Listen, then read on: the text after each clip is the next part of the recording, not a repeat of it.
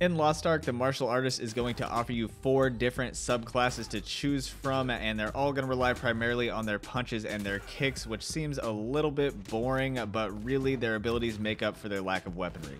These classes are really going to require some ability management and timing if you want to play them at their maximum potential. Looking first at the Soulfist class, this class is going to offer you a good balance of melee and range attacks as well as some good mobility. Out of the gate, her primary is going to shoot beams of light out of her punches, which is going to allow you to hit enemies nearby and at range. You're also going to have some pretty cool ranged abilities that you can lean on when you want to keep some distance from your enemies. And if you decide you want to get up close and personal, you're also going to have a lot of good melee abilities at your disposal that are going to offer you the mobility to close the gap as well as some small CC. When you're using your abilities, they're actually going to cost you some ki, which is essentially like a stamina bar. You can see it on the bottom of the screen here. If you spam abilities until you run out, you're going to have to actually wait until the bar completely refills again until you can use any more abilities. So you want to keep an eye on this bar and avoid running out of it completely.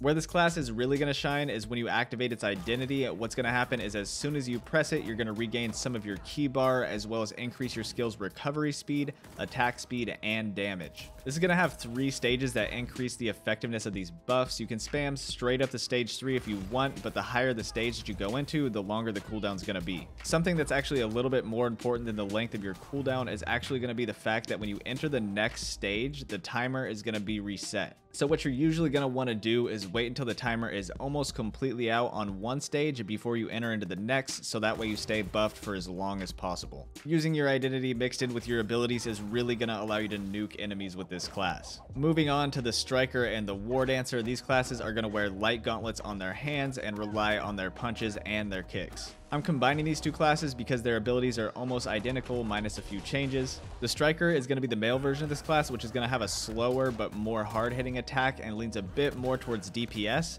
and the Wardancer is going to be the female version, which hits faster but a little bit weaker and leads a bit more towards team play. Again, they are very similar to each other, so it's not really that massive of a difference depending on which one you take. To be effective with either of these classes, you're going to have to find a balance between normal abilities and ultimate abilities. Your normal abilities are usually going to be close range, multiple part attacks, and a lot of them are actually from the back attacks, which means that they do more damage when you are behind your enemy. You're also going to have access to some combos, which require you to hit the button multiple times, but offer you some good mobility in the process. As you use your normal abilities, you're going to actually fill up these orbs that are in the bottom of your screen. These orbs are really useful because you spin them to activate your ultimate abilities. As you can probably tell by the name, these ultimate abilities are going to be a lot more effective than your normal abilities. They're oftentimes going to hit harder and hit more enemies. To be really effective with this class, you're going to have to find a sweet spot between using your normal abilities and your ultimate abilities. As you get more towards the end game, you're going to be able to choose between making your ultimate abilities cost less orbs but not be as effective, or cost more orbs and be extra effective. Whichever one of these you decide is going to really define your playstyle when you're playing the Striker or the Wardancer. Moving back over to female-only classes, if we're looking at the Scrapper, she is going to use heavy gauntlets as her weapons and rely almost exclusively on punching. If you notice, out of the gate, some of my abilities are actually grayed out. That's because abilities are going to come in two colors and rely off the energy from the bars in the bottom middle of your screen. Right now you can see there's no green bar and there's purely yellow attacks, but as I use yellow attacks, you can see the green bar starting to fill up, which is going to allow me to use my green abilities. As I use my green abilities, this green bar is going to be drained and I'm going to have to switch back to using the yellow attacks. You're going to have to be really aware of balancing both your green and your yellow attacks if you want to be effective with this class, but what's really nice is that both the green and the yellow attacks offer a lot of CC effects. The yellow attacks are actually going to be a mix of fast hitting attacks and high mobility attacks.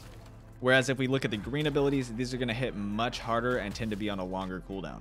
Some abilities such as Death Sentence will hit harder depending on how full the green bar is when you cast it. Looking at the late game, you're actually going to be able to spec in and choose between whether you want to lean more into yellow attacks or green attacks, but no matter what, you're going to have to have somewhat of a balance of the yellow and green attacks to be effective. If you want to see what magic looks like in Lost Ark, be sure to check out the mage class here. I hope you guys found this helpful. If you did, don't forget to like and subscribe as well as check out the Twitch stream down below. My name is Marcus, and thanks for watching.